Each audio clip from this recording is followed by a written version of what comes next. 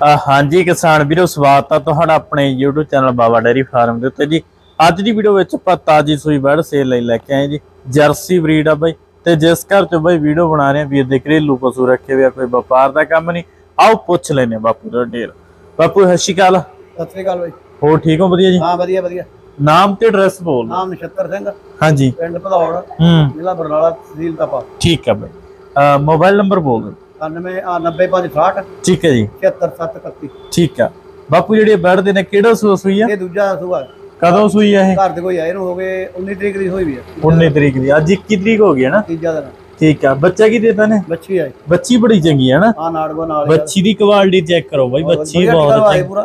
ਠੀਕ ਆ ਬਾਈ ਬਲ 2500 ਦਾ ਕਿੰਨਾ ਲਿਆ।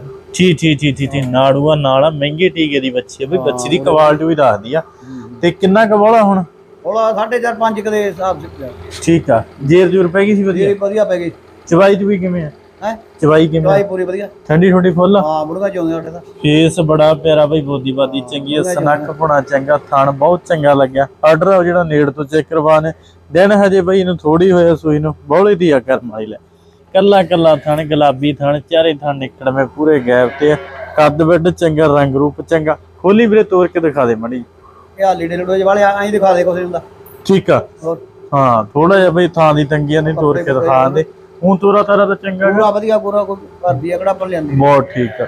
ਤੇ ਕੀ ਮੁੱਲ ਜਾਇਜ਼ ਜਰਾ ਮੁੱਲ 40000 40000 ਰੁਪਏ ਮਾਨਤਾਨ ਹੋ ਜੂ ਹਾਂ ਕਰ ਦਾਂਗੇ ਠੀਕ ਆ 40000 ਰੁਪਏ ਮੁੱਲ ਆ ਬਈ। ਬਾਕੀ ਜਿਹੜਾ ਮਾਨਤਾਨ ਜ਼ਰੂਰ ਹੋ ਜੂਗਾ ਤੇ ਕਿਸੇ ਵੀਰ ਨੂੰ ਵਰਡ ਪਸੰਦ ਆਵੇ। ਆਪਣੇ ਕੋਈ ਆ ਨਹੀਂ ਲਿਆਂਦੀ ਉਹਦੇ ਘਰੇ ਲੋਕ ਠੀਕ ਆ ਬਈ। ਨਾਲ ਕਨੈਕਟ ਕਰ ਲਿਓ। ਧੰਨਵਾਦ